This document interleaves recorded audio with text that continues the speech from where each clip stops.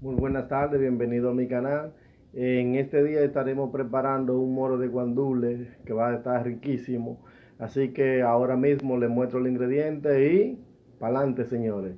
Vamos a darle con yuca para que sepan lo que es un verdadero moro dominicano que se van a lamber los dedos señores. Por aquí tenemos los ingredientes.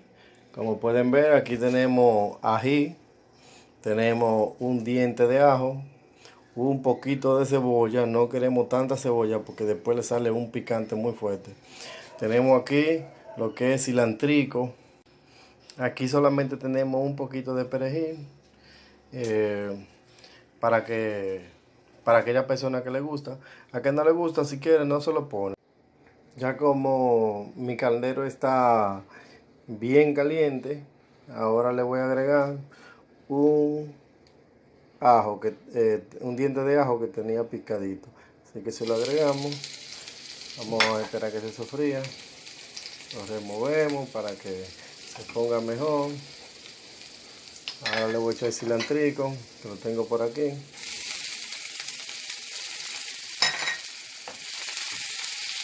También voy a echar el apio, eh, ají, la cebolla, la pasta de tomate,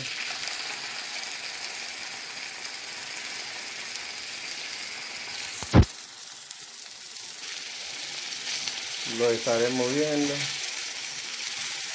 para que vaya cogiendo su sazón, su saborcito.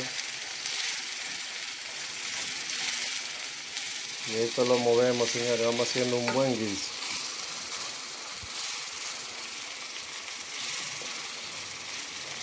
Ahora lo que vamos a hacer es que echamos un poquito de de esto es pimienta blanca. También le voy a echar un poquito de orégano para la persona que le guste el orégano. A mí me encanta el orégano, señores. Estaré echándole un poquito de orégano. Y le voy a echar sal. Yo estaré utilizando media cucharadita de sal porque así no se me pasa eh, mi arroz ahorita cuando lo eche. Ya tengo todo ahí incluido. Eh, podemos echar nuestro dos vasos de agua.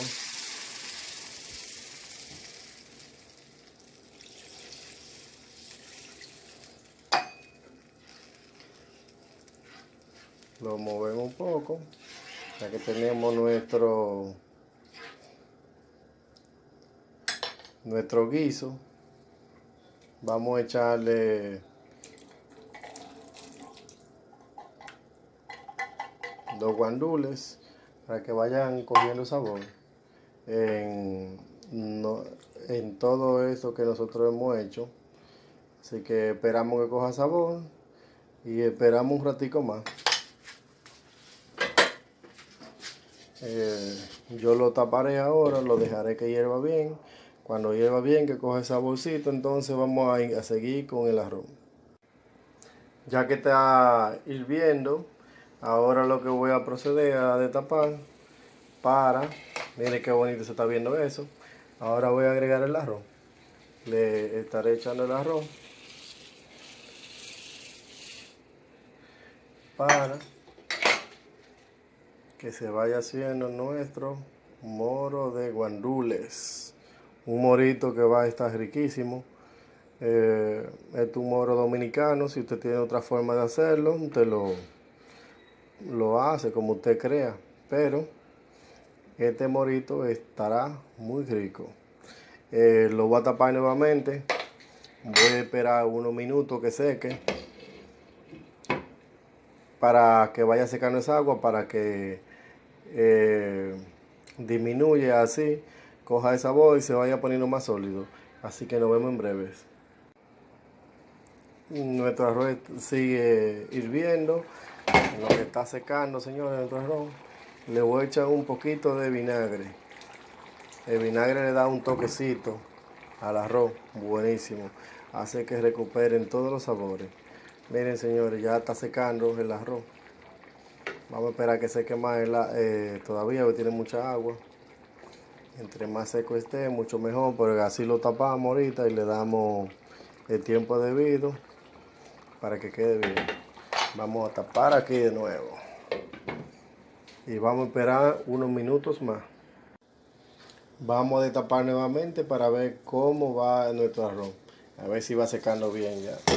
Y por aquí vemos que está secando bien, el agua está disminuyendo y nuestro arroz se está viendo mucho mejor.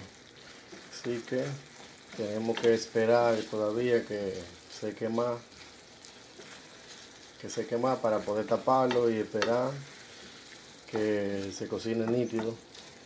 Así que no se desesperen. Si usted ve que está secando, no le suba más el fuego. Eh, hay que darle su tiempo. El arroz para cocinarse dura 20 minutos. Si usted dura menos de ahí con el arroz puesto, eh, bueno, entonces el arroz no estará tan bueno.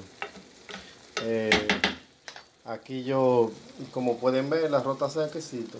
Entonces, yo lo taparé, lo dejaré ahí tapadito, le bajaré el fuego al mínimo. Ustedes están viendo ahí que está reduciendo. Le bajaré al mínimo. Entonces, en ese poco de fuego, lo dejaré así para que no se queme durante 20 minutos. Pero si usted lo chequea y ve que todavía le hace falta un poco más, le deja 10 minutos más. Pero en 20 minutos ya su arroz estará listo. Así que nos veremos en luego. Pasados los 20 minutos, ahora vamos a ver cómo está nuestro arrocito. Wow, eso se ve delicioso, señores. Miren cómo esto está. Eso está buenísimo. Miren cómo se ve eso, buenísimo, señores. Eso quedó riquísimo. Ahora procedemos a emplatar y luego a darle para abajo, no la comemos. Por aquí podemos ver, señores, el emplatado como quedó. Esto está, miren, chulísimo, se ve muy bueno. Usted lo acompaña con lo que ustedes crean, pero este arrocito está